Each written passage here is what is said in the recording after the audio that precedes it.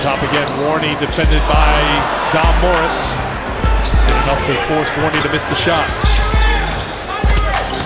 Good conversion defense by the guys in the white shirts. Morris for